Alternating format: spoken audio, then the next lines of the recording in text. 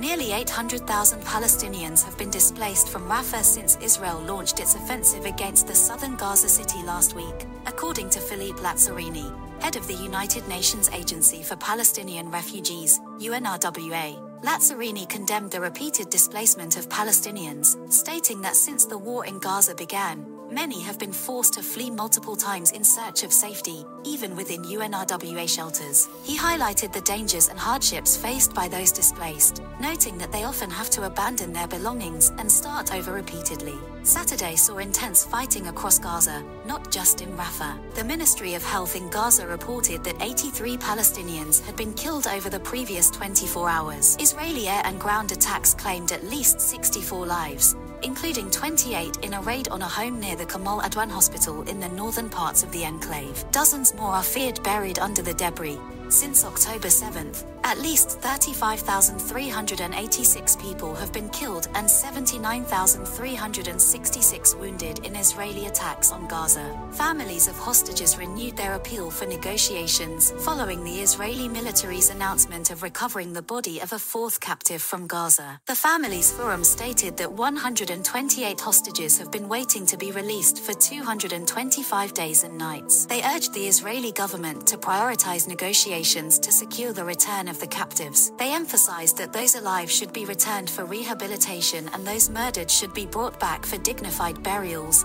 referencing the return of Ron Benjamin's body. Meanwhile, Crown Prince Mohammed bin Salman, MBS, and White House National Security Advisor Jake Sullivan met in Dhahran, Saudi Arabia, to discuss Israel's war on Gaza and review near final drafts of strategic agreements.